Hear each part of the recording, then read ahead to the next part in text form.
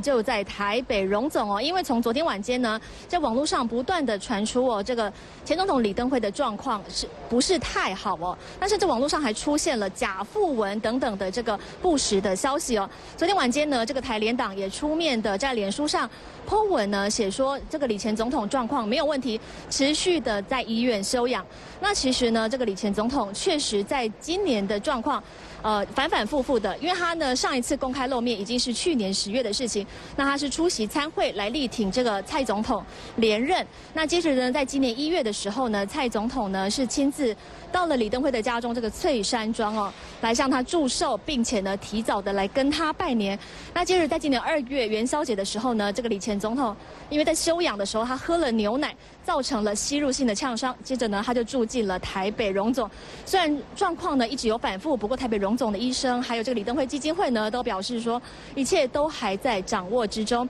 那其实呢，这个蔡总统也非常的关心这个李前总统的身体状况，所以每一次呢，在病情稍稍有反复的时候呢，总统都会亲自的来探望。那也传出呢，这个总统待会儿呢，也可能会到台北荣总这边来探望李前总统，并且呢，希望他身体能够尽快的康复。那稍待最新情形，我们也会随时为你掌握。